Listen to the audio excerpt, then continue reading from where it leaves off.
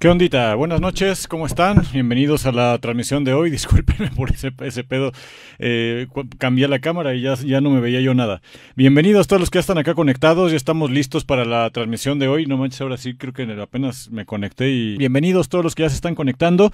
Vamos a arrancar eh, ahorita la, ya con el tema y ahorita continúo leyendo sus comentarios. Cualquier pregunta que tengan, ya saben que ahí está el chat y con todo gusto ahí la vamos a ir contestando poco a poquito.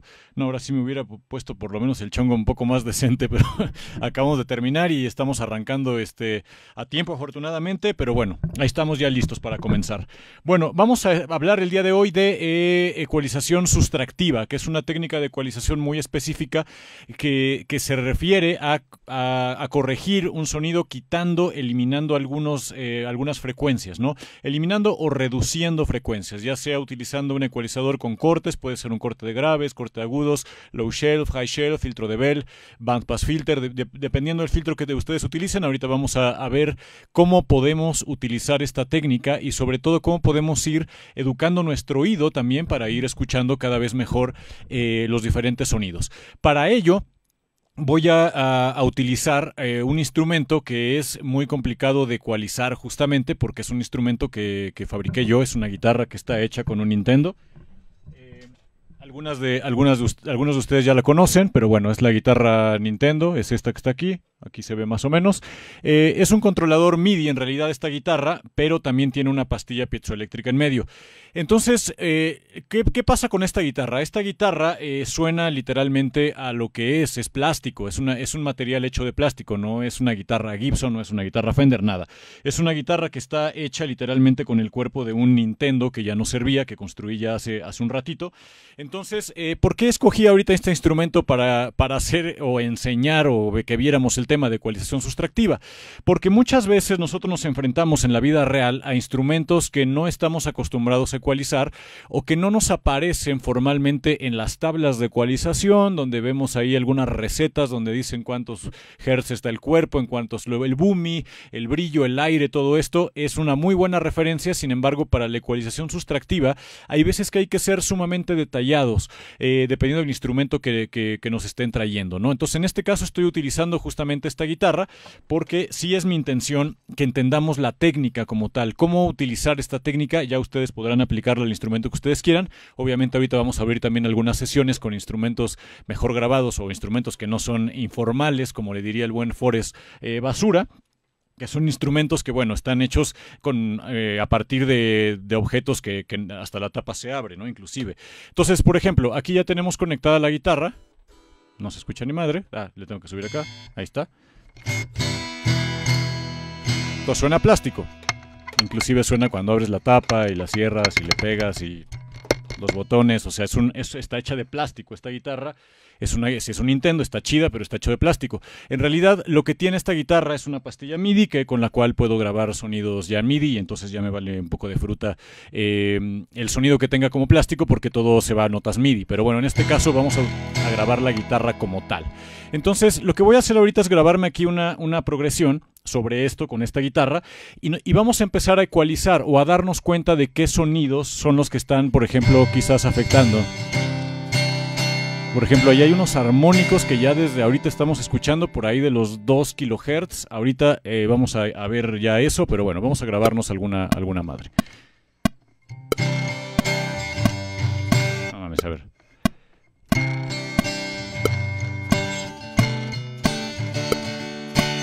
Ok. Dos, tres, una vuelta y ya la bruta.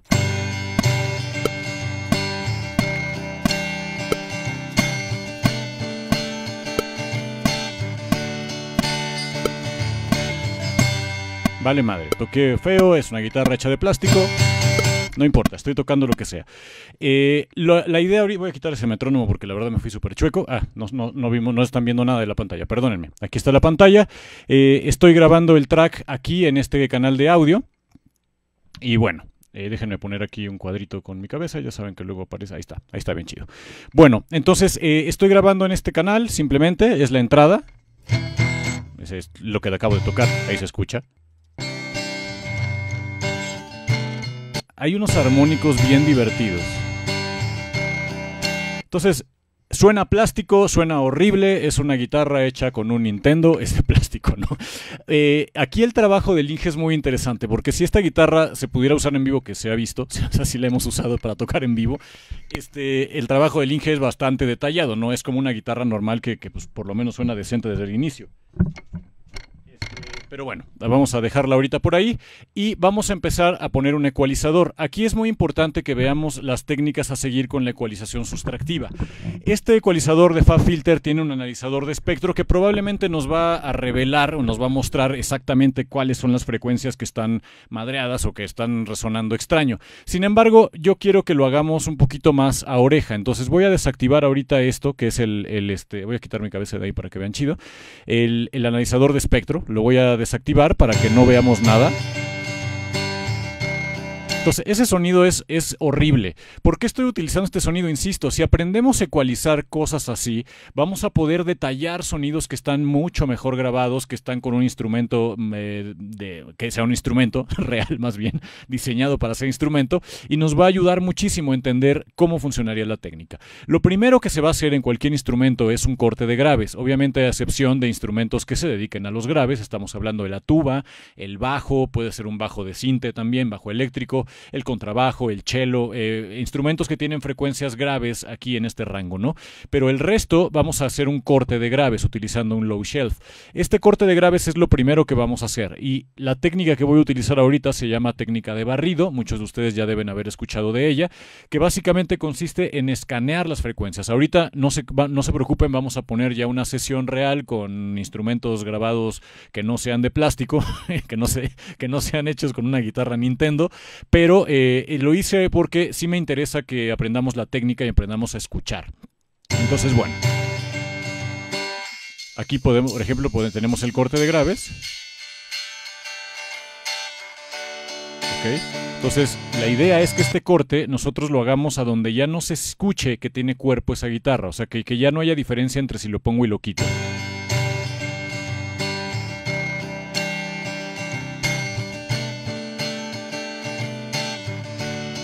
Creo que por aquí por 100 Hz, por ejemplo, está bastante decente. Estoy escuchando únicamente esta área de las frecuencias. Inclusive pueden ponerle solo, eh, con este plugin sería aquí con los audífonos. Chequen como eso ya es puro aire, si es que lo alcanzan a escuchar si tienen monitores.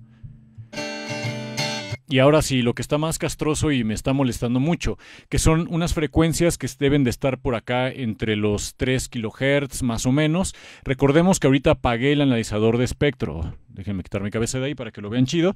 Apagué mi analizador de espectro porque eh, no quiero ahorita que nos guiemos en eso. Ahorita lo voy a encender para que vean que también es una herramienta muy útil. Sin embargo, aprender a escuchar y aprender a desarrollar la técnica del barrido es muy importante. Yo ahorita adivinando siento que una de las frecuencias frecuencias está por ahí de los 2 kHz, entre 2 kHz y 2500 quizás, en medio de esas frecuencias. Siento que pudiera llegar a estar este, esta principal que me está molestando, aunque hay otra más arriba que yo creo que ha de ser su armónico, que está por ahí de los 4. Pero bueno, vamos a, lo que voy a hacer es subir o sea, literalmente voy a aumentar de decibeles eh, las frecuencias y voy a hacer un barrido. El barrido es empezar a recorrer cada una de las frecuencias poco a poquito hasta escuchar cuáles están retumbando, ¿no? Ahí les va.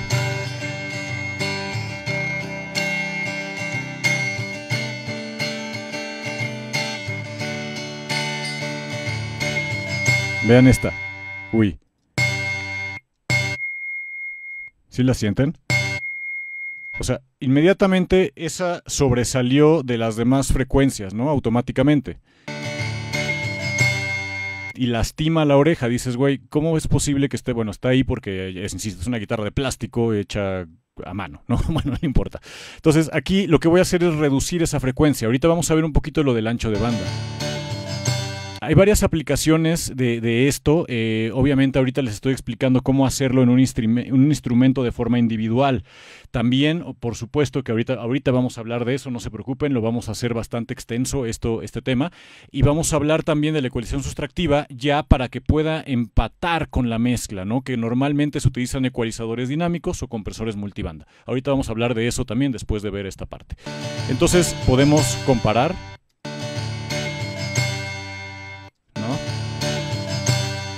sin con, ¿no? Todavía inclusive aguanta hasta un poquito más abajo si me apuran.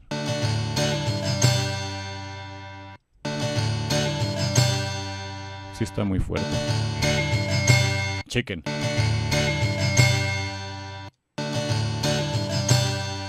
Ok, y ahora nada más hay otra por ahí de los 4 kilos que me está estorbando bastante. Vamos a hacer barrido. Uy, por ejemplo, aquí también hay algunas interesantes. Vamos a ponerlo en una parte un poquito más, más atrás. Déjenme quitar esto de aquí para ponerlo acá. Uy, sí, aquí también. 3220. Esta también está bastante Ah, no, más bien me había pasado de lanza porque tengo una escala de 30 decibeles aquí, cuidado, ¿eh?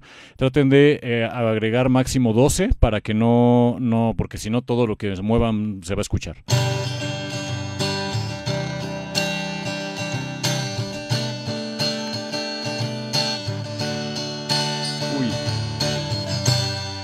Por ahí vamos.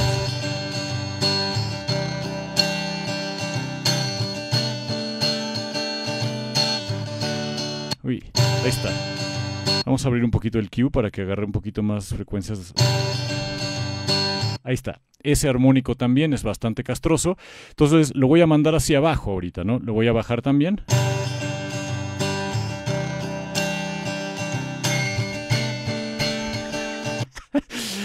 Si escuchan la diferencia, espero que sí la estén escuchando, porque esto que estoy haciendo, insisto, es un poco más quirúrgico que lo que normalmente se hace en una ecualización sustractiva tradicional. Sin embargo, insisto, a veces eh, cuando uno ve videos de ecualización sustractiva y dice, ok, es que si yo voy arrancando, quizás yo no estoy grabando con un micrófono Neumann y no estoy grabando una guitarra eh, Taylor de pinche mil dólares, estoy grabando a, mi, a un compa que estoy empezando a grabar, que trae una guitarra ahí de, de paracho, bueno, las de paracho son muy buenas, de hecho, este, no sé, una guitarra X ahí que muy barata, que pues apenas sí suena, y debe tener este tipo de condiciones. Entonces hay que aprender a lograr ecualizar cualquier cosa. Ecualizar, de hecho, el término se refiere a balancear las frecuencias, lograr encontrar este balance entre las diferentes frecuencias, ¿no?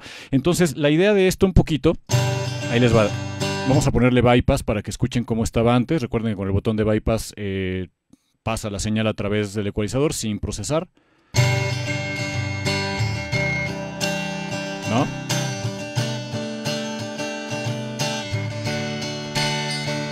Evidentemente ahí había un constante que estaba bastante, era bastante molesto. En este caso e, era bastante evidente. Ahora, hay otras frecuencias por aquí que podemos nosotros manipular. Vamos a encender el analizador de espectro directamente para que podamos ver ahora sí que también visualmente en el caso de este plugin se puede, se puede observar, lo cual es bastante interesante. Está en bypass. Ahí está. Entonces ya podemos ver que nuestro corte ya tuvo resultado aquí, ¿no? Y aquí, por ejemplo, nos está mostrando cuáles son los picos que tienen mayor resonancia. Entonces podemos empezar a agregar algunas frecuencias ahí. Eh, este no se me hace tan malo, la verdad. Este de aquí a lo mejor sí. Y bueno, ya pueden apoyarse de las herramientas que tienen, ¿no? Este sí, mire. Pero antes de eso, lo importante es escuchar.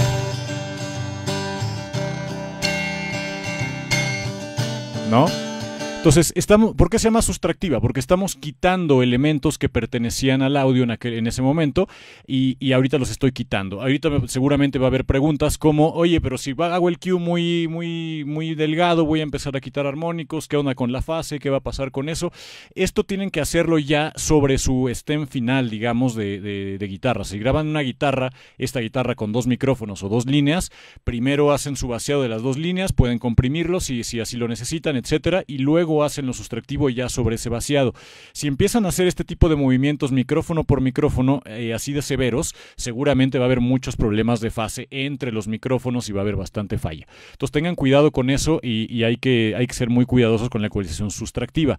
Eh, ahorita que abramos una sesión de Adebi se van a dar cuenta que no, nunca se va a ver tan así, o sea, realmente son cortes inclusive con un Q un poquito más amplio, ¿no?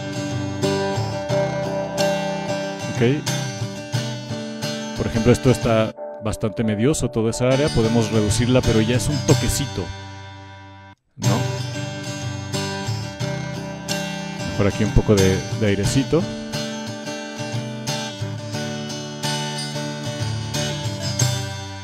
Ok.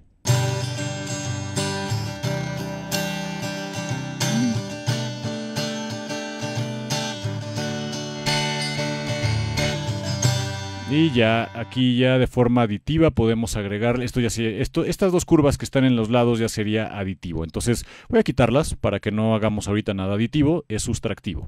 Estamos quitando elementos simplemente. Checa, diferencia, ¿no? Eh, antes la guitarra estaba grabada así, insisto, para los que se acaban de conectar, lo que están escuchando es una guitarra hecha de plástico, es esta, se les voy a mostrar otra, nuevamente. Es una guitarra que yo construí con un Nintendo. Entonces suena plástico, suena metaloso ahí porque pues es una guitarra eh, informal, vamos a llamarle así.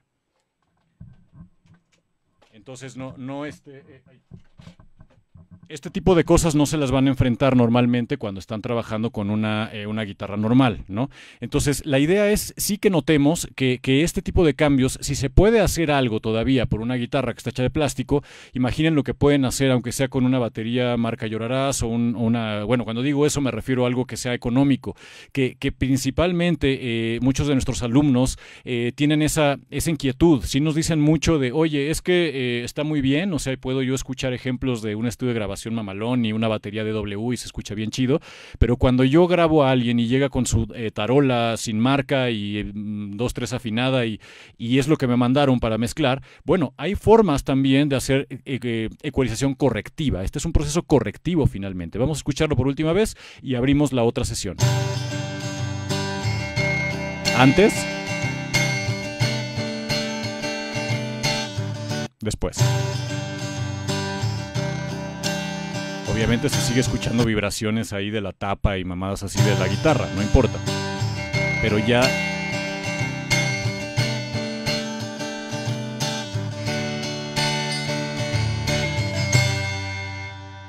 ¿No? Inclusive hasta el, puro último acorde. Antes, después. Entonces, realmente sí ayuda mucho, o sea, de verdad, esto, este proceso no le estamos agregando nada, no estoy utilizando ningún ecualizador análogo extraño, nada. Estoy utilizando simplemente el, Pro Q3, pues ustedes pueden ocupar el que viene gratis en, su DAW, el nativo, sin ningún problema, pueden cerrar el Q. Si se fijan, utilicé una, dos, tres, cuatro, cinco bandas más el corte de graves y ya. Inclusive pudieron ser cuatro porque eh, este, esta de acá, pues la verdad le bajé nada más 1.29, ya fue algo muy, muy ligerito, pero, pero bueno. Entonces, eso sería el proceso que hay que hacer de ecualización correctiva. Entonces, en resumen, si se fijaron, primero subí la banda, empecé a hacer un barrido para escuchar dónde se encontraban esos elementos. Recordemos que todo proceso correctivo, como es el caso de la sustractiva, eh, trata de eh, solucionar ciertos problemas a los cuales nos enfrentamos. ¿no? Voy a abrir ahorita una, una sesión acá, eh, Infinitivo, el negocio, a ver, vamos a abrir esta otra sesión. ¿Desea guardar? Pues sí, de una vez que se quede para cuando quiera hacer algo con la guitarra Nintendo. y, bueno, entonces voy a abrir ahorita directamente la, este, la, otra sesión. Aprovecho en lo que carga para mencionarles que están abiertas las inscripciones al diplomado online de Pro Tools. Si gustan inscribirse, pueden visitar la página de internet cicutarecords.com. Ahí vamos a estar eh, en vivo completamente. Este diplomado va a comenzar en el mes de, mayo. Pueden entrar aquí directamente a, a la sección de cursos, cursos en línea. Y eh, aquí en cursos de audio profesional tenemos varios también de otras categorías. Aquí está el diplomado online en Pro Tools y aquí eh, se va a impartir en este caso del 19 de abril al 7 de mayo. Son 15 clases de dos horas cada una. Está muy completo de verdad. Es un total de, 30 horas este, este diplomado y está sumamente completo. Pueden conocer el temario acá, todo eso. Se les manda material adicional para que hagan prácticas. Voy a quitar mi cabeza de ahí para que alcancen a ver aquí un poquito la información. Cualquier duda que tengan, mándenos un inbox. También tenemos otros cursos que están disponibles ya grabados en el momento que ustedes deseen adquirirlos, de mezcla, de captura sonora, masterización, consolas digitales, eh, los que utilizan Waves, por ejemplo, los plugins, es un curso de procesadores específicamente de la marca Waves, de Ableton tenemos también, postproducción de una banda en vivo, síntesis, Logic Pro, etcétera. Hay varios cursos aquí, talleres que les pudieran llegar a interesar. Si les interesa, pues mándenos un inbox o visiten la página cicutarecords.com y con mucho gusto les estaremos ahí atendiendo. Bueno, regresando eh, ya abriendo aquí la sesión. Ahora sí, ahorita vamos ahí a leer comentarios, a ver preguntas tranquilamente. Y este, pero no tengo 40, pero sí 30. Ok, ahorita veo eso. Ok, Entonces aquí está esto y, eh, por ejemplo, en el caso de las baterías también es muy común eh, hacer ecualización correctiva. Ahorita voy a abrir aquí rápidamente este ecualizador para que vean más o menos cómo sería la curva de una ecualización correctiva normal. Aquí tenemos una escala de 12 decibeles, por eso se ve así, pero en realidad eh, es, es, una escala muy poquito. ¿no? Si lo pongo en esta escala, van a ver que el movimiento es mínimo lo que se está haciendo. Entonces, realmente no es lo que hicimos con el Nintendo como tal, sin embargo, la técnica es exactamente la misma. Vamos a intentar ahorita, vamos a poner este tom, por ejemplo, a sonar. Ok, ahí está. Creo que sí, ahí suena. Bueno, vamos a agarrar una parte donde toque los toms un poquito más, eh, más marranones. Esta, por ejemplo, que es un más largo.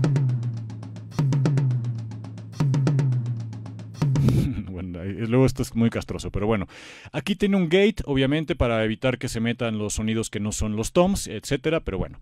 Más allá de eso, en la ecualización correctiva, vamos a hacerla de nuevo. Por ejemplo, vamos a ponerle aquí el ecualizador, vamos a utilizar el Pro Q3. Eh, vamos a buscarlo aquí.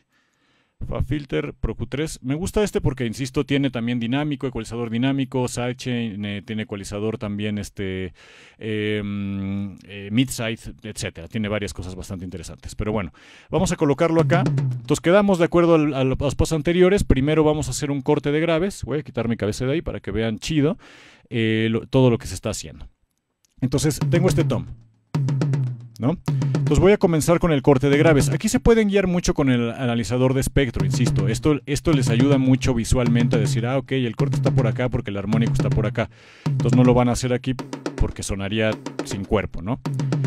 Sin embargo, insisto, yo les recomiendo que vayan entrenando su oreja más allá de porque luego nos acostumbramos al ecualizador y ya cuando estamos en vivo y tenemos nada más una consola con tres bandas, cuatro bandas eh, y no, no, vemos nada, pues ya no sabemos oír nada. Entonces es importante que utilicemos más nuestro oído que los ojos. Los ojos es una buena referencia, son una buena referencia, pero eh, el oído es lo más importante para que podamos lograr eh, este tipo de, de, ecualizaciones o de movimientos. ¿no? Entonces, lo primero que podemos notar en este tom, si lo escuchamos, es de hecho aquí se ve visualmente cómo está muy exagerado en estas, en, estas frecuencias. Sin embargo, eh, hay unos armónicos que suenan como tapados, eh, más o menos por aquí, que no sé qué frecuencia sea esta, debe ser como unos 300 y cachito. Verme que ya me puso otro punto acá. Y vamos a hacer el barrido que les decía. Ahorita, ahorita no voy a utilizar un Q cerrado, voy a utilizar un Q abierto. Lo que quiero quitarle ahorita es bola. Se escucha bastante bola. Entonces, más allá del analizador de espectro, vamos a ver dónde está realmente la bola. Vean todo esto. Todo esto es como si metiera la cabeza en un tambo de, una cubeta, no sé, algo así. Es una lata de chiles, suena bastante acuoso, ¿no? Como, como si habláramos en, en cetáceo o algo así. No sé. Entonces, toda esta parte acuosa vamos a reducirla un poquito, ¿no? Aquí voy a abrir un poquito más el, Q, que es el ancho de banda, que son las frecuencias aledañas que me van a, a afectar. Y voy a ser sutil para tampoco, si me paso de lanza, pues también esto ya es un palo todo enflacado, ¿no? Entonces es muy importante por eso eh, poder escuchar la, la, escala, poder poner una buena escala. Recordemos aquí que matemáticamente eh, 3 decibeles, 6 eh, decibeles sería el doble, 6 decibeles que le suban a algo es el doble completamente, ¿no? Sin embargo, eso es cuando algo está 100% en fase. 3 decibeles ya lo distingue bastante bien cualquier oído humano, entonces hay que tener cuidado aquí con esto e irle bajando de a poquito, ¿no? Por ejemplo, ahí le estoy bajando 2.4 más o menos. Vamos a hacer bypass, que puedo apagar la banda con esto para ver si estoy haciendo algo bien. Está mucho más definido. Y luego por aquí al lado también se sienten algunas otras frecuencias. Insisto, vamos a hacer el barrido. El barrido es estar moviendo esto hasta que encontremos esas frecuencias, ¿no? Yo creo que por ahí de 250. Chequen. Entonces, esta parte también está un poquito eh, mediosa. Vamos a, bajarlo un poquito más. Por ahí está chido, yo creo, bastante, bastante interesante. Y entonces lo voy a reducir también, igual poquito. O sea, voy a ir yo decidiendo cuánto le estoy reduciendo y cuánto no. Creo que este cuerpo sí puede subir un poquito más.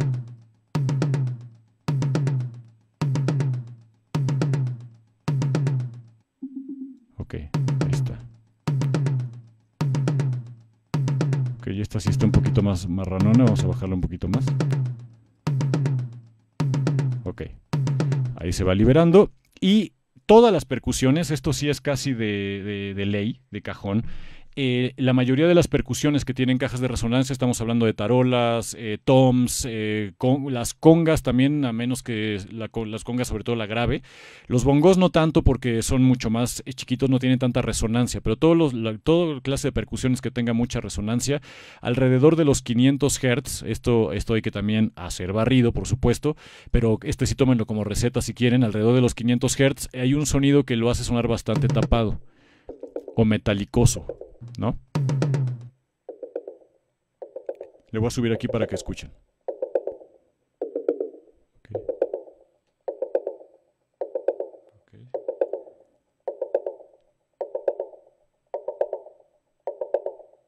Por ahí.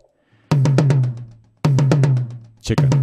Entonces, esto lo hace sonar un poco cartonoso, es la palabra, como si fuera un cartón. Eh, entonces, vamos a bajarlo también eso un poquito perdón, le voy a regresar el volumen a como estaba, perdón si estaba muy fuerte. Ok.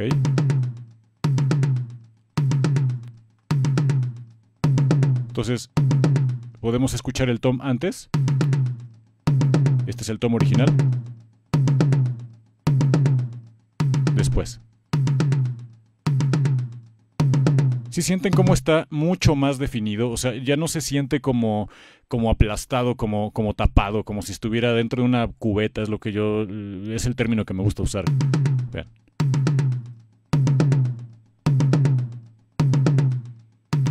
Solamente quité estas frecuencias, ¿no? Vamos a ver si coincide mi curva, eso está interesante, porque a veces cuando uno ecualiza, lo mismo no, esta es, la original de la, banda, vean aquí le bajé un poquito más a esta, por alguna razón pero, pero creo que prácticamente salieron las mismas frecuencias. Bueno, sí, creo que, creo que este de acá está un poquito más, más agresivo. Vamos a escucharlo. Ah, me gusta más, de hecho. Vamos a checar este. Ah, suenan prácticamente igual. Pero aquí sí le di un poquito más de graves. Aquí en el de acá le, bajé un poquito más. Ok.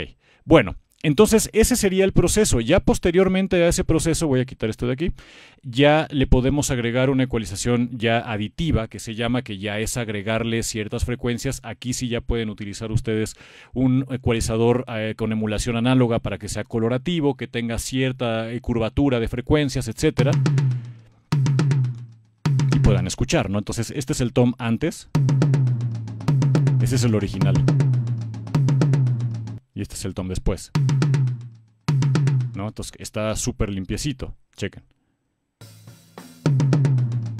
Antes después. Entonces ya está limpio, si me explico. Entonces, esto es lo que estamos buscando con la ecualización sustractiva. Insisto, vean cómo no hay aquí un eje volcánico transversal con un chingo de picos y, cerros y un buen de cosas. Realmente es bastante sutil, me atrevería a decir. Eh, sin embargo, es suficiente para que nos dé la sonoridad. Ay, cabrón. Perdón. Para que nos dé la, la, sonoridad completa, ¿no? Si ponemos la batería aquí en el botón de solo. Ay, güey, déjenme le bajo aquí. Ok, bastante bien.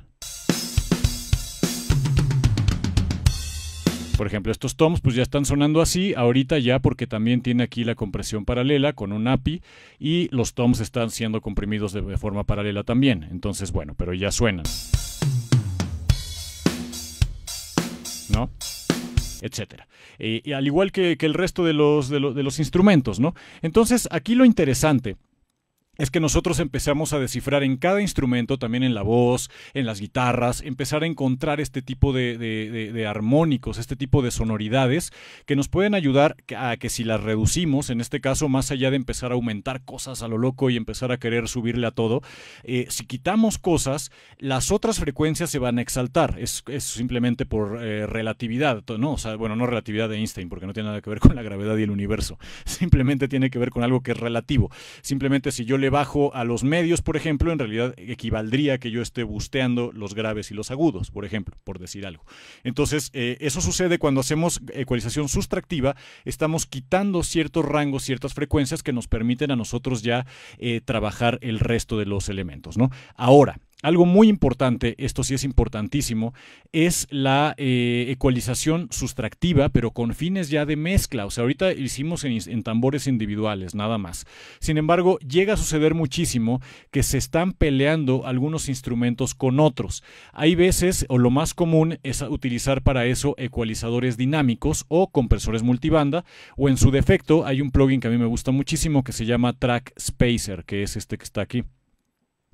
Este plugin que se llama Track Spacer lo que va a hacer es, eh, tiene, un, tiene un threshold aquí, bueno, este esta es la parte del sidechain, tiene un umbral y a partir de eso eh, va a analizar frecuencias que lleguen de otro canal, lo voy a poner de este lado para que vean los parámetros, y va a reducir esas frecuencias en el momento, que es lo que hace un ecualizador dinámico, antes de pasar al Track Spacer, para que los que no conozcan los ecualizadores dinámicos, pues los vayan eh, comprendiendo. Por ejemplo, si yo aquí en la tarola yo le pongo una banda, y en lugar de hacer un ecualizador que todo el tiempo va a estar en la misma posición, lo que un ecualizador dinámico lo que haría sería reducir, o sea, eh, tener la banda abajo, pero esto no está reduciendo hasta que no el sonido rebase cierto umbral, cierto volumen. ¿Sí me explico?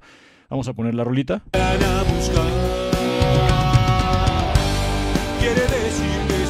Por ejemplo, estas frecuencias solamente se están atenuando. Ahorita, este es el micrófono de la tarola, entonces evidentemente va a brincar cuando pegue la tarola.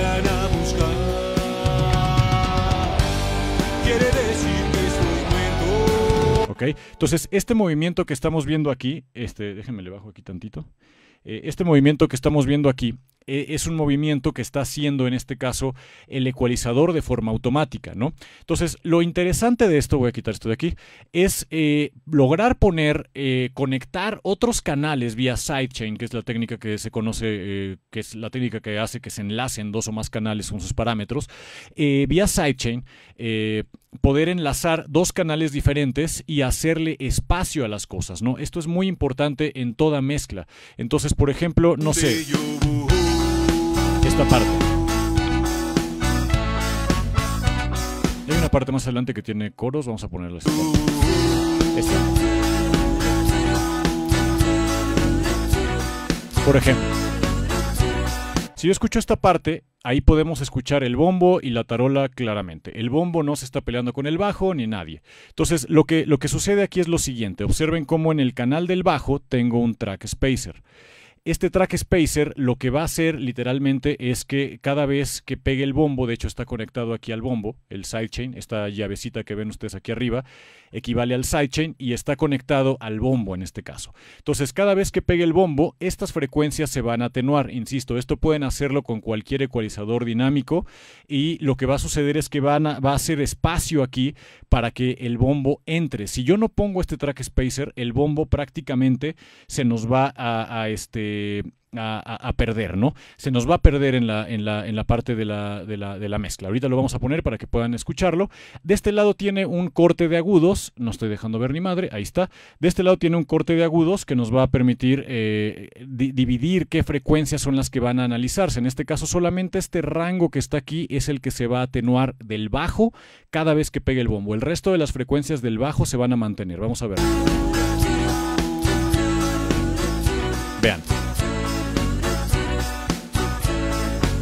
Le voy a poner bypass para que escuchen y chequen cómo se va el bombo por completo si yo no hago esto.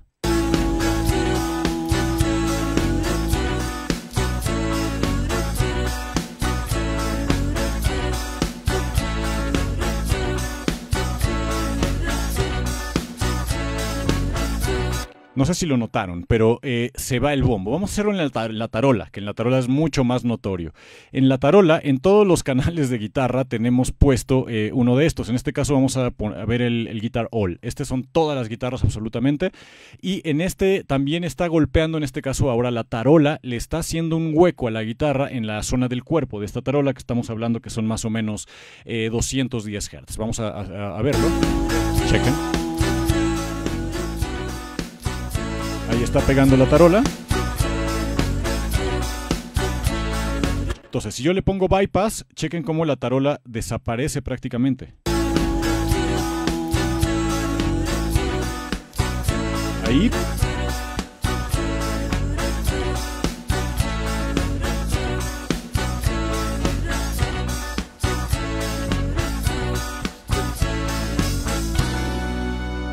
Entonces, en realidad eh, es muy importante, o sea, si nosotros realmente nos ponemos a pensar, podemos decir, ok, ¿cuántas veces no nos pusimos a ecualizar nuestros instrumentos individuales nada más y dijimos a huevo, sí, con estos instrumentos individuales, eh, desea guardar cambios, no, ni madre, no quiero guardar nada, con estos instrumentos individuales basta, ¿no? Mi, mi, mi tarola suena increíble sola y la pongo en la mezcla y dicen, güey, no corta la mezcla, desaparece mi tarola, no la encuentro, ¿no? Pero pongo la batería sola y se escucha muy bien. Entonces, ¿qué es lo que está sucediendo? Es muy probable que eso es lo que esté sucediendo. Hay frecuencias que se están empastando entre los distintos instrumentos. Tenemos un rango de 20 a 20 mil Hz para trabajar nosotros distintas frecuencias y uno de los elementos de la mezcla es la frecuencia definitivamente. Entonces, no solamente es mezclar con volúmenes, sino mezclar en frecuencia para que cada elemento vaya llenando esos espacios y se mantenga la máxima nitidez posible. Esto es muy importante para cualquier tipo de instrumento. Entonces, eh, la ecualización sustractiva, me atrevo a decir que es la mejor herramienta para lograr esto, porque realmente lo que estás haciendo es hacerle espacio a las cosas, ¿no? Todo el tiempo. Entonces, en este caso, eh, por ejemplo, una guitarra acústica, vamos a ponerle solo aquí, estas guitarras. Vean, por ejemplo, la curva que tiene esta guitarra, ¿no?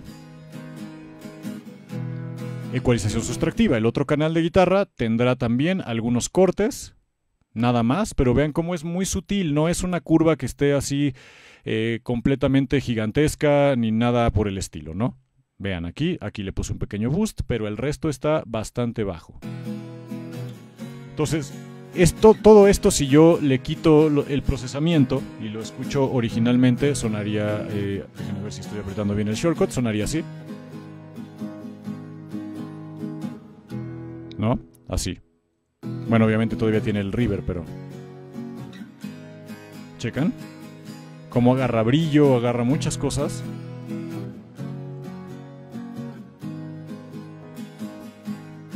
Que por supuesto ya se deben de llevar con lo demás.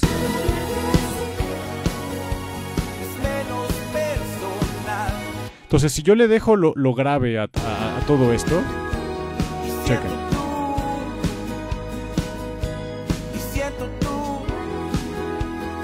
Toda la parte del cuerpo aquí la está agarrando el bajo, no la guitarra acústica. Entonces no tengo por qué tener frecuencias aquí que estén chocando con el bajo. Y además, en el caso de esta sesión, eh, eh, también tenemos eh, un piano, tenemos keys aquí, que sería este.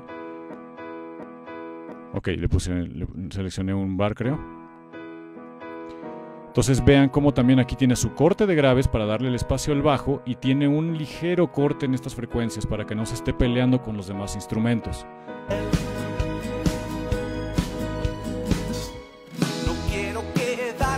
Ok.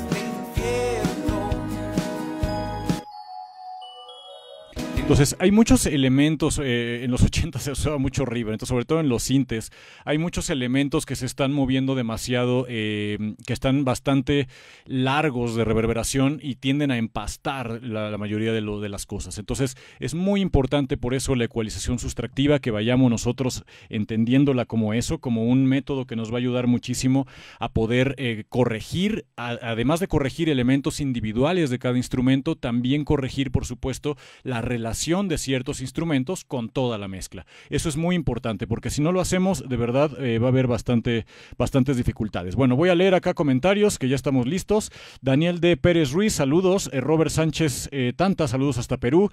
Yair Marver, buenas noches, buenas noches Yair, qué bueno que estás por acá. Héctor Sakuma, también saludos. Mins NKS, saludos. Ariel Silva, saludos también. Francisco García, más rap. Vamos a ver otra, vamos a programarnos otra, otra de ese género. Hicimos una bastante interesante ahí con Amcor y, Lobo Estepario, por si quieren eh, después eh, buscarla, está seguramente en la sección de videos de la fanpage de Cicuta, síganos ahí, cada miércoles estamos transmitiendo también para tratar de compartir con ustedes algunas, algunas técnicas, algunas cosas que les puedan ser de utilidad. Tuaña, ¿hay alguna manera de saber a qué velocidad de muestreo está una sesión eh, desde las carpetas generadas de Pro Tools sin tener que abrir? Saludos.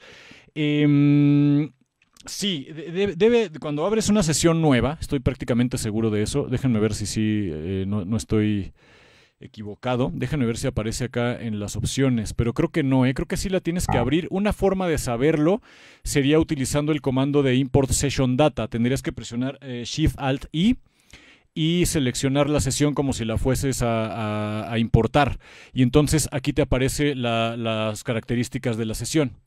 Y aquí ya te dice a cuánto está, 32 eh, bits punto flotante, está 48 kHz, formato WAV, etcétera, ñaca, toda la información necesaria está aquí directamente, ¿no? Entonces, si el shortcut es Shift Alt y la letra I, latina y te aparece el import session data escoges la sesión que tú quieras conocer eso y aquí lo, ubicas. ¿no? Obviamente esta ventana es para otra cosa, es para importar elementos de, otra sesión diferente a la que vas a hacer actualmente. Se utiliza muchísimo, sobre todo cuando es la misma banda con la misma alineación, diferentes canciones. Bueno, pues puedes importar tus ecualizadores, tus compresores, todo lo que hiciste con la otra sesión para ya que te sirva de base para poder arrancarte y no empieces desde cero nuevamente. ¿no? Entonces, eh, pero bueno, también ahí puedes ver la información para la pregunta que hace. ya se me anda cayendo aquí esto. Daniel Tituaña. Bueno, eh, déjenme leer acá. Eladio Hernández, saludos eh, desde Guadalajara, un abrazo hasta Guadalajara. Eh, Jimena Montenegro, saludos hasta Chile. Ahí, saludos. Sí, sí, creo que sí. Eric Zavala, ¿puedes explicar a qué te refieres con el vaciado de dos micros o stems que dijiste? Saludos de Ecuador, siempre pendiente. Claro que sí, Eric. Cuando digo el vaciado de dos micros, por ejemplo, aquí en la guitarra acústica, creo que es un muy buen ejemplo de la guitarra acústica. Eh, en la guitarra acústica tenemos los dos micrófonos, o sea, tenemos, eh, de hecho son tres aquí. Estos tres micrófonos son los que hacen cada una de las guitarras. Esta es una y esta es la otra, ¿no? O sea, son dos guitarras tocando a la vez, paneadas. Pero estas tres guitarras que están aquí, por ejemplo, yo, eh, yo lo que hice fue mandarlas a un solo bus que se llama auxiliar guitar y aquí estoy haciendo también una modificación de ecualización, inclusive con un poco de ecualizador dinámico, que es el que les explicaba hace, hace unos momentos.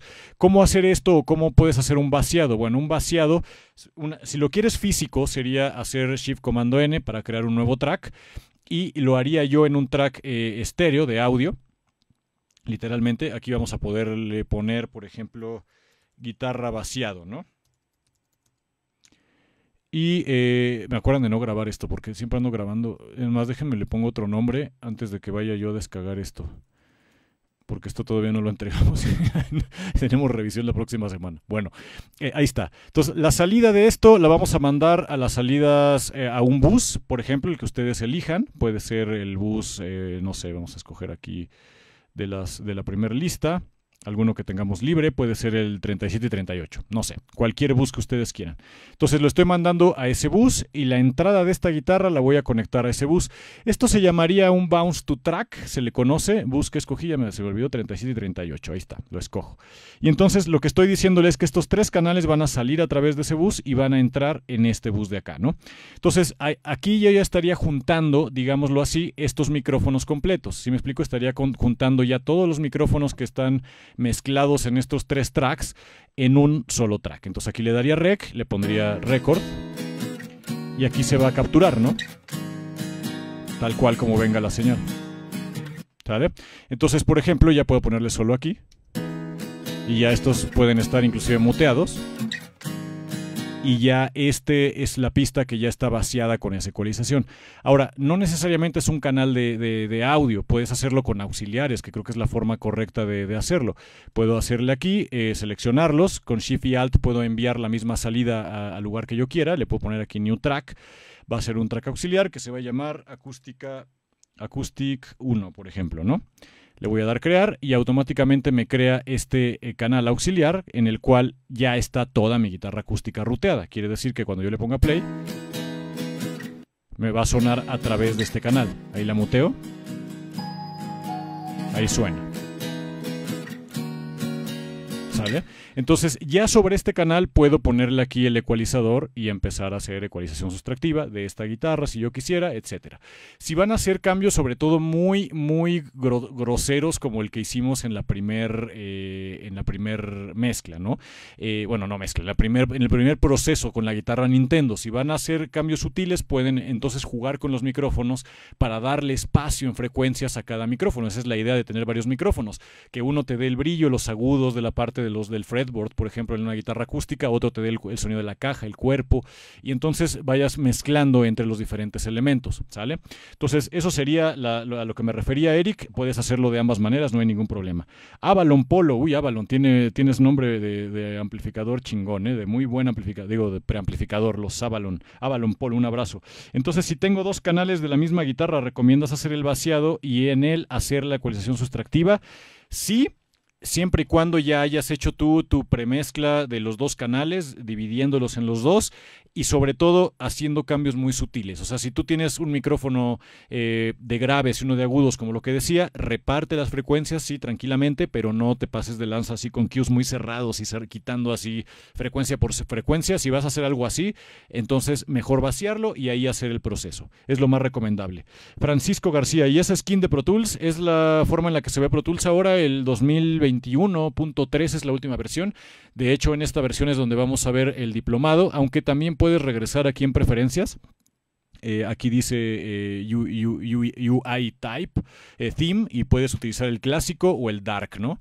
Que, que, bueno, que es esta manera en la que se ve ahorita Pro Tools, pero puedes también seguir usando el clásico. Yo estaba usando el clásico, pero bueno, ya me estoy acostumbrando a verlo así. Entonces, en la 2021.3 trajeron varias mejoras que ya, por lo menos cuando seleccionas, ya te hace un glow y te invierte los colores y ya puedes ver más, porque en la anterior eh, uy, sí me sacó mucho de onda. Pero bueno, ese es el, la, el skin de 2000, el skin como le dices, de eh, Pro Tools 2021 ya. Eh, Daniel Tituaña, lo de, la escala, lo de la escala del Fab Filter sería como hacer zoom. Sí, exactamente. El Fab Filter básicamente tiene tres escalas de zoom, exactamente. O sea, puedes ver el, tu, frecuencia, el equivalente en una escala de 30 decibeles, de 12 decibeles o de 6. Entonces, obviamente va a variar el, el tamaño, pero no es que esté subiendo más o menos. Simplemente es la escala visual de lo que tú estás observando, ¿no?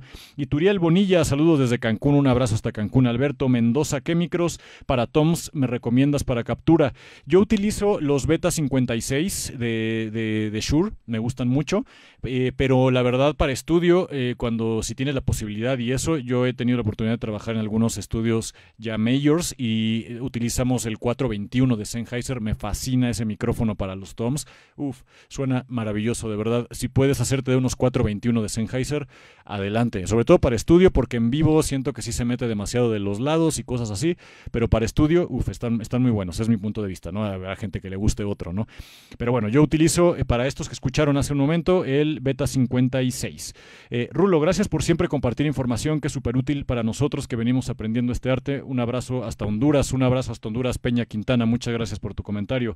Oscar José Orozco, también saludos. Toño e. Robles está etiquetando ahí a su compa. Saludos. Lenin Máximo, ¿se puede usar la ecualización sustractiva para darle realismo a una batería virtual? Claro que sí, claro que sí, Lenin. Sí, se puede utilizar bastante la ecualización sustractiva. De hecho, tienes que hacer ecualización sustractiva. Muchas veces pensamos que ya viene demasiado bien la, la, batería normal, pero es, siempre es importante que si tienes un Z-Drummer o un Addicted Drums o lo que tú tengas, eh, vaciar los canales por separado, el bombo, la tarola, tenerlos por separado para procesar cada canal es, es muy bueno. Siempre le va a dar mucha naturalidad. Vas a quitar también algunos armónicos que, a pesar de ser samples que están muy bien cuidados, no necesariamente tienen un proceso ya de mezcla, ¿no? Avalon Polo, cuando haces ecualización sustractiva, la haces antes de comenzar a mezclar para limpiar o la haces durante la mezcla en sí. Eh, lo hago antes, de hecho es de lo primero que, que, hago, aunque también es recomendable la ecualización sustractiva hacerla después de la compresión, cuando es una compresión eh, en serie con fines nada más de, de, de compactar y, empatar las dinámicas. ¿Por qué es eso? Cuando es, cuando es con fines de, modela, de modelado de transiente, que vas a, destacar ciertos elementos con el ataque y el release del compresor, ya me estoy yendo a los compresores, pero bueno, vamos a tratar de explicarlo lo más rápido posible, eh, no hay problema porque estás nada más moldeando tu sonido para dejar pasar ataques y los release y todo esto y nada más. Pero cuando estás buscando homogenizar dinámicas, cuando tú comprimes algo, todas las frecuencias finalmente también sufren de esa compresión. Esa es la diferencia entre una automatización de ganancia y usar un compresor. Realmente al momento de comprimir no es una reducción de volumen como tal, sino también estás aplastando tu espectro de frecuencias. Entonces, si tú ya hiciste una sustractiva y empiezas a aplastar las frecuencias ya con una compresión un poquito más, más severa, entonces vas a terminar regresando todas las frecuencias parejas a donde estaban. Entonces hay que tener cuidado con eso. Por eso normalmente ese tipo de compresión sería antes de la ecualización, ¿no? Sin embargo, si vas a utilizar un, un compresor con fines de modelado de transientes, yo siempre lo utilizo después de la ecualización correctiva. A veces basta con primero ecualizar la poner la ecualización correctiva y después el compresor ya para darle el color o el toque que estás tú buscando, ¿no? Entonces ahí es eh, siempre la pregunta de qué va primero el huevo o la gallina, qué va primero el compresor o el ecualizador. Depende mucho de eh, la razón para la que tú estés ocupando ese compresor, ¿vale? Aaron Ramos, ese plugin es la mera vena, dice. Está muy chingón, el, el Filter es muy bueno ese plugin. Eh, Juan Antonio, no entendía cómo funcionaba ese plugin, está muy bueno, sí, funciona muy bien. No sé si te refieres a eso, pero bueno. Juan Antonio, gracias por el video, o, te refieres al, Track Spacer. El Track Spacer es una maravilla, de verdad, también. O sea, los que hemos mostrado es porque los utilizo muchísimo. Oscar José dice, sustractivo, limpiar el patio, es igual a limpiar el patio, así es, eh, así es. Vas a barrer las hojas secas que cayeron ahí y quitarlas todo lo que no pertenezca a ese instrumento lo vas a quitar para que tengas el sonido más nítido del instrumento. Master, saludos desde Chile, dice eh, José Sebastián Merino. ¿Recomiendas ecualizar los efectos? En este caso, las reverbs, sí. Sí, recomiendo bastante hacerlo. A veces en el mismo plugin tienen una sección de ecualizador con el cual puedes hacer cortes de graves y hacerlo dinámico también es bastante útil, ¿no? Para que eh, cuando esté entrando el instrumento, eh, por ejemplo, una voz, se comprima, por ejemplo, el, eh, bueno, se comprima, se atenúen las frecuencias medias graves para darle, dejarle ese cuerpo a, a, la voz, también es bastante útil. Y sí recomiendo definitivamente ecualizar las reverberaciones que utilices. Eduardo Aparcana, saludos desde Lima, Perú, un abrazo hasta Perú, qué bueno que nos están viendo. Diego A. Silva, ¿en qué situaciones se debe usar la ecualización sustractiva y en cuál es la aditiva? La sustractiva es un proceso correctivo. ¿Ok? La aditiva ya es para es un proceso creativo, vamos a, diferenciarlo de esa manera. La sustractiva siempre se va a ocupar cuando tu instrumento originalmente el sonido no te está convenciendo o encuentres ciertos elementos de mejora quitando cosas, ¿sale? Solamente vas a quitar. La aditiva ya es, ok, ya tengo este instrumento que me gusta cómo suena de forma natural, pero quiero ponerle más brillo, quiero ponerle más cuerpo, quiero amarranarlo para que suene un poquito más gordito, o me gusta una guitarra tipo Jimi Hendrix, vamos a meterle unas frecuencias muy mediosas para que suene así, eh, no sé, ese tipo de ecualizaciones ya son aditivas, ya empiezas tú a agregar, aunque también podría ocurrir un proceso creativo con la ecualización sustractiva, ¿no? Por ejemplo, en el caso de las voces, vamos a poner esta, esta voz aquí, déjenme poner aquí otra columna para no eh, descargar, voy a quitar ahorita todos los plugins que tiene. Bajo mi cama tu recuerdo. Por ejemplo, si yo esta voz quisiera que tuviera eh, un efecto de teléfono, bueno, pues podría utilizar, voy a poner inclusive el que viene gratis en los cornflakes, que es el, el, EQ3. Ay, puta madre, aquí ya, no, ni lo encuentro. ah, Dios mío, aquí está, EQ3-7. Este es el que viene gratis en los Cornflakes, aquí con Pro Tools. Está bastante, también está chido, digo, pueden usar el que ustedes gusten, ¿no? Entonces, aquí, por ejemplo, yo haría dos cortes, corte de agudos, corte de graves. Es sustractiva, sí, estás quitando frecuencias, sin embargo, lo estoy haciendo con un fin creativo.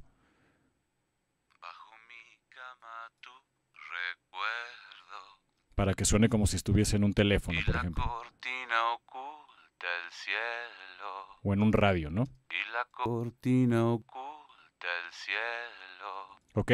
Entonces, realmente eh, no, no, no podría decirte exactamente que la, la, sustractiva jamás va a ser un proceso creativo. No, sí puede ser un proceso creativo, sin embargo, depende de los factores que acabamos de mencionar, ¿vale? Eh, espero que haya resuelto tu duda. Diego, eh, te mando un abrazo. Maiva César, saludos desde Juliaca, Perú, un abrazo, buen Maiva, qué bueno que estás por acá. Rubén Vázquez, hola, ¿un teclado lleva ecualización? Sí, lleva ecualización. Ah, la mayoría de los teclados o, o sintes, pues ya vienen ecualizados bastante o sea, suenan muy bien, cuando, sobre todo cuando usas presets y cosas así. Si tú haces tus propios sonidos, puedes llegar con los osciladores a generar armónicos o resonancias ahí raras, pero ya vienen ecualizados individualmente, pero no con la mezcla, eso es muy importante, o sea, con tu mezcla puede que un teclado, eso pasa mucho con los teclados Korg mamalones, así el B-Synth, ¿no? Que tocas un pad y suena monstruoso, dices, güey, a huevo, lo pones en tu mezcla y dices, es que no cabe en mi mezcla porque se come el bajo, se come lo demás y si le bajo ya, ya no se oye Entonces, ese tipo de cosas las vas a lograr con la ecualización sustractiva. Le vas a dar el espacio a las frecuencias para que cada instrumento empiece a lucir en el punto en el que tú estás trabajando. Eso es muy importante. O si él dice, ¿dejarás la transmisión para verla más tarde? Sí, sí la vamos a dejar, no te preocupes. Aquí puedes tú consultar inclusive las transmisiones anteriores, también se quedan colgadas. Insisto, eh, síganos ahí en Cicuta Records si todavía no nos siguen y vayan a la sección de videos y ahí cada miércoles tenemos transmisiones, entre otras cosas. Entonces, eh, ahí hay bastante material. Jefferson, ¿qué opinión nos podrías dar del micrófono AirWords para batería? Eh, Earthworks. Honestamente no lo he utilizado Jefferson. Eh, no he utilizado ese micrófono para batería ni para otra cosa. No lo he usado. Entonces cuando no he usado algo, pues prefiero decirte no me consta de primera mano su sonido ni nada. No lo, no lo he escuchado Jefferson. Te pido una disculpa y sí, pero eh, te recomiendo que busques alguna reseña de ese micrófono para escucharlo. no, no, no he escuchado todos los micrófonos, pero bueno, tal vez sea bueno. Adat Record. Saludos, Master. Gracias por tus aportes. ¿Qué recomiendas para mejorar en la detección de frecuencias molestas? Eh, hay un programa o, un entrenamiento que se llama Golden Ears, que en aquel entonces cuando yo lo estudiaba es lo que nos hacían seguir, que, que venía en CD, ahorita me imagino que está digital, se llama Golden Ears y eh, son ejercicios de frecuencia, te lo ponen con ruido rosa. Eh, te recomiendo que tú te pongas ejercicios escuchando frecuencias armónicas, ondas senoidales. Primero puedes empezar con las bandas clásicas de un ecualizador. Estamos hablando de 250 Hz, después el doble, 500 Hz, 1000 Hz, 2 kHz, 4 kHz y 8 kHz. Con esas seis frecuencias, si puedes arrancar y que tú ya pongas la que tú quieras con una onda senoidal y la sepas identificar, si se fijan ahorita cuando yo estaba eh, ecualizando, yo lo que decía es, se escucha entre los 2000 y los 2500 más o menos, porque eh, yo no tengo oído absoluto. Los que tienen oído absoluto luego luego te pueden decir a lo mejor 2500.67 eh, Hz. Ay, güey, qué pedo, ¿no? Yo no puedo, ¿no? Yo, yo sí distingo un rango, pero ese rango te va a ayudar muchísimo a que tu barrido ya no sea, ahora sí que si vas a barrer la calle, pues no tengas que barrer la de los vecinos también. Ya nomás barres la parte que está mugrosa, ¿no? Entonces, te va a ayudar mucho estos rangos a que tú eh, vayas encontrando estos espacios de frecuencias y ya nada más te dediques a hacer barrido en esa parte para encontrar la frecuencia exacta, ¿no? Entonces te recomiendo que, hagas eso, si no tienes el Golden Ears, no te preocupes, puedes hacer tus propios ejercicios, inclusive debe haber ya por ahí aplicaciones que hagan eso, estaría chido. Y bueno, Rafael Bizárraga, ¿cuándo haces un diplomado en Cubase? Vamos a planearlo, Rafael. Yo no soy usuario de Cubase, honestamente, lo, lo utilizo muy por encima. Pero, pero sí, vamos a planearlo, eh, a ver si podemos eh, eh, tener algún instructor que sea de Cubase. Ahorita de DAW los cursos que tenemos son de, de Pro Tools, de Ableton Live, que lo da instructor certificado este, José Rendón, muy bueno, y también Logic Pro lo da José Rendón. Entonces, estos dos cursos también están muy buenos de DAW, y ya hay muchos ahorita también. Vamos a, a planear también próximamente uno de FL Studio para los que son productores ya de música electrónica y ese género. Y tenemos también el diplomado en Pro Tools, que ese sí está en puerta ahorita para los que les interesa aprender. De verdad, ese software se lo van a topar en la mayoría de los estudios de grabación profesionales. Entonces, si lo, si lo aprenden a usar, van a poder eh, fácilmente entrar a trabajar a, muchos lugares. ¿no? Eso sí se lo recomiendo mucho. Agustín Confi, un gusto siempre aprender con usted, Rulo. Gracias infinitas. Muchas gracias, Agustín. Qué bueno que estás por acá, de verdad. Muchas gracias. Ociel Hernández, ¿tienen canal de YouTube? Sí, tenemos un canal. Ociel, está ahí, búscanos como Cicuta Records. Ahí subimos más bien eh, cosas de, bandas y también tenemos algunos tutoriales. Eh, clases muestra también tenemos ahí, aunque la mayoría del contenido lo estamos haciendo en Facebook. Vamos a empezar a trabajar un poco más en YouTube, Ociel, pero sí, sí tenemos también canal de YouTube. Juan Antonio, ¿tienes algo de Reaper? No, de Reaper no tenemos este, nada, Juan Antonio, lamentablemente. Ahorita estamos trabajando eh, únicamente en estos DAWs que mencioné hace un momento. Bueno, eh, les agradezco muchísimo que se hayan conectado, de verdad, muchas gracias. Los invitamos nuevamente a que se inscriban al Diplomado Online en Pro Tools o a cualquiera de nuestros cursos que están disponibles. Visiten cicutarecords.com pueden entrar aquí a consultar el, temario, inclusive aquí mismo en el temario pueden encontrar eh, una clase muestra, pueden ver la primera clase completamente gratis para que vean de qué se trata, cómo está todo, y aquí viene el temario que viene, desglosado, entonces van a ver exactamente qué es lo que van a ver en cada una de las sesiones, pueden visitar cicutarecords.com y cualquier duda que ustedes tengan, de verdad estamos aquí a sus órdenes y con mucho gusto eh, les vamos a resolver ahí eh, todas sus dudas, ¿vale? Escríbanos un inbox también, cualquier situación que tengan, si les podemos ayudar en algo, aquí estamos para, para servirles. Les mando un abrazo y nos estamos viendo la próxima transmisión el miércoles. Muchísimas gracias. Cuídense mucho. ¿Qué precio tiene el diplomado de Pro Tools? Dice acá. Eh, son, eh, son 15, perdón, lo, detuve porque me está preguntando aquí el buen eh, Ociel. Son 15 clases de dos horas cada una, un total de 30 horas durante tres semanas y el costo es de 110 dólares, me parece. Déjenme, déjenme entrar. Son 120 dólares, perdón, 120 dólares. También lo pueden este, eh, pagar en pesos mexicanos, que serían 1.900 pesos mexicanos. Insisto, son 15 sesiones de dos horas cada una, completamente en vivo, interacción en tiempo real. Y además las clases se quedan grabadas, se les manda material y tienen asesoría permanente. ¿Vale? Cualquier duda que tengan, estamos a sus órdenes. Cuídense mucho y ahora sí, descansen. Cuídense mucho. Ahí, güey. Ya estaba puesta la rolita. Chido, cuídense mucho.